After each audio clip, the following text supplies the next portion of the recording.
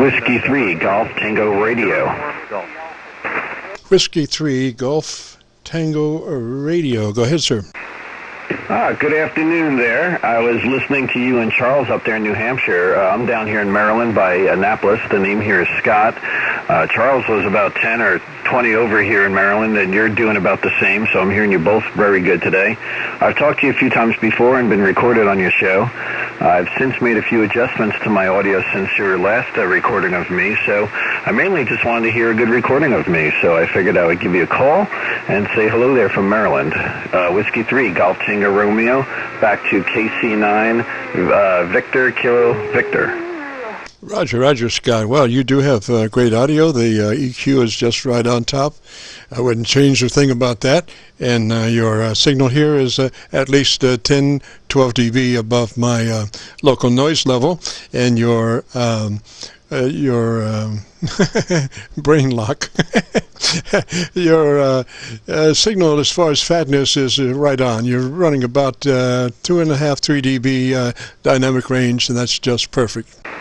Oh, copy that, copy that. Well, um, good. Then I won't hold you too long. I just wanted a little bit of the recording, so uh, when I checked your uh, YouTube channel, I could hear myself back. Um, I'm talking to you on a Yaesu DX3000 radio with a Heil 781 microphone. I'm running an Ameritron AL80B, and I'm going out to an end-fed antenna. I think the last time I talked to you, I was on an inverted V. I've since switched to an end-fed, uh, made by a company called Maple Leaf Studios. It uh, turned out to be a pretty good antenna and beat out my other antennas. So right now, we're working off of that. Roger. Now the question is, did you leave the old one up? Well, yes and no. I was going to raise the old one. I did some A-Bing back and forth between the two antennas quite a bit, and the end-fed beat it out. So I figured, well, let me try to get the uh, the inverted V up a little higher. And as soon as I did, my SWRs went way off the charts and I think it's because the legs were going to be too close to each other. They uh, they weren't going to be a 90 degree anymore. So it actually did better lower than it did higher. But I'm going to put up another uh, end-fed. Probably next week or whenever this rain stops. And this one is going to be a 100 and then do it in an inverted L, and the top flat top part of it will be probably about 60 feet up. So I imagine it's going to beat up this antenna too.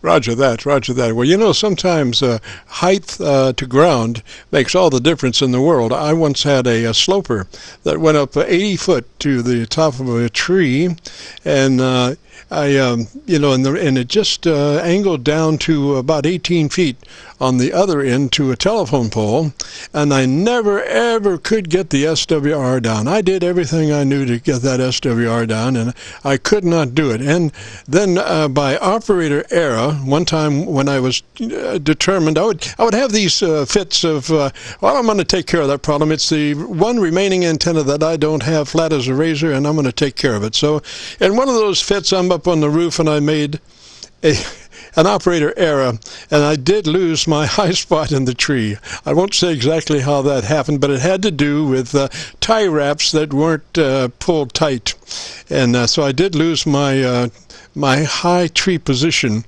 So what I did was uh, to, in order to keep on keeping on, I uh, had to go to the uh, second limb in that tree, which was only about 20 feet uh, above ground. And uh, all of a sudden, uh, when I did that, my SWR went to 0.01. I mean, it was just amazing. And I said, well, it's not the height that I want, but it sure is the SWR that I'm looking for, Roger. Do you think it performed well for 20 feet, or being the yes, the match was so perfect, or do you think it really performed at 20 feet? I think truthfully, that uh, all this uh, HF stuff's moving moving by skywave, and I don't think that um, you know 20 feet uh, to 100 feet is going to make much much difference. Actually, I really think that uh, uh, because uh, you know it's it's all getting that RF up in the up in the sky so it can you know move around as opposed to you, you know not. Roger. Yeah, Roger that. Um, but there is some science to, you know, uh, when you get at a certain uh, height off the ground, you get a little more directional than omnidirectional too. So um, I'm not sure how this inverted L will be. Um, I didn't really plot it out. I guess I could plug in the numbers in the piece of software and see how it looks. But um, I'm just going to go with it and measure it. And I got an antenna analyzer. I got one of those little RigExperts. I usually uh, kind of temporary hang stuff up, try it, and if the rig expert tells me it's good, then I uh, kind of cinch it all up and make it a little more permanent. Uh, that's the plan. I won't hold you up. I, you probably got other people out there who want to hear themselves. I appreciate the QSO though, and it was nice talking to you again. And I'll look forward to uh, checking out the channel. And I uh, really do appreciate what you do out here. You really make a difference, and uh, wanted to thank you for that. Whiskey Three Golf Tango Radio. We're going to say 73s to you, and you have a good day there from uh, Whiskey Three Golf Tango Radio to KC9VKL on. We'll listen to your final. Roger, correction call uh, VKV. Victor King Victor. But uh, on the antenna, I always leave my old antenna up.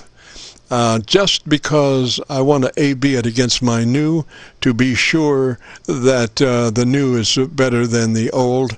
And I don't think it's necessarily something you can find out in, you know, two or three days. Uh, I, my policy is just to leave the old up and put it on a uh, A, B, C, D, E, F, G rotary selector or whatever you have to do to work them all in. And that way uh, you can, you know, the, the other thing is there's nothing better than the right antenna at the right place at the right time. So we're top, talking options. So if you have the antenna that you were using, it was good enough then, and I guarantee you that uh, down the road there will be times when it will be better than uh, your new antenna. Not necessarily all the time, not necessarily even 50%. But when you have an A-B um, comparison situation sitting right there, you can, uh, you know, go back and forth and uh, just prove to yourself that your new one is better than your old one. Anyway, that's that's my policy. That's why I have 38 antennas around the house. and, and the wife's beating me on the head saying, "Get rid of some of these things." Uh, well, and I did get rid of my uh, 12 foot. Uh, uh, C-band dish. I, I, did that. Gosh, uh, took and I did that with a saber saw. That's that is determination, not the not the big uh, support uh, pole. That that took a little doing. Matter of fact, I couldn't even get through that. Hardly had an angle iron cutter. And finally, I, I worked it down to the ground and had to do a flower on the on the the uh, pipe. Just saw it down into four pieces. Take a sledgehammer, bend it out into a flower, and break it off. But Anyway, so goes the world as far as antennas are concerned. This is KC9VKV, the Friday afternoon QSO Vlog network. If you have a radio you want to check out, give us a shout.